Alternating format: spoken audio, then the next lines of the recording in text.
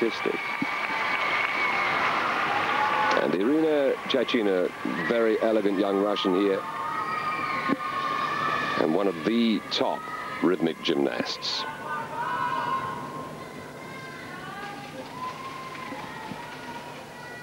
Twenty-one years of age, comes from Omsk.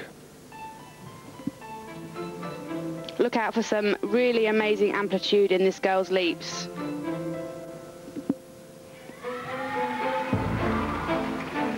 And a slight mistake there. There'll be a minor deduction for that, a 0.1 deduction, which should be taken off by the execution judges.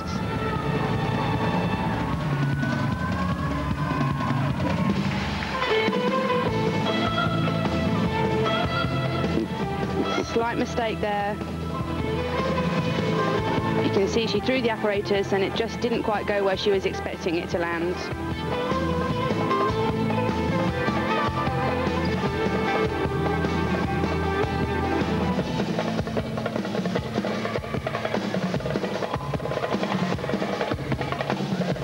Nice combination of leaps there.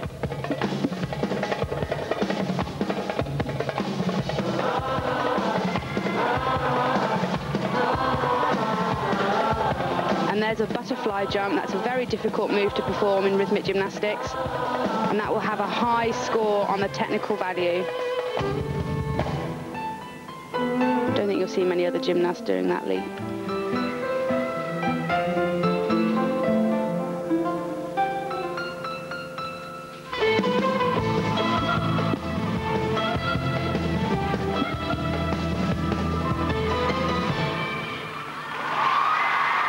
That was a clean performance from her, not quite as good as we're used to seeing. There were some areas of the routine where she didn't look fully confident and she was just a little bit shaky. But she is one of the most beautiful gymnasts on the floor and a great technician. Just see some of the highlights once again here. Irina Tchachina from Russia, 21 years of age now.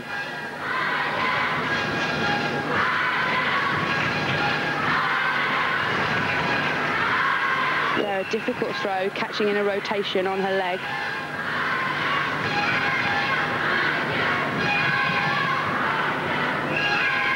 She might say, well, this is one, not one of her favorite pieces of apparatus, uh, but she is supposed to be right at the top in uh, all forms of rhythmic gymnastics. So a little bit disappointed, I think, with this performance. We'll see what the judges make of it all. In second, all around in Baku a little earlier this year. First with the hoop there.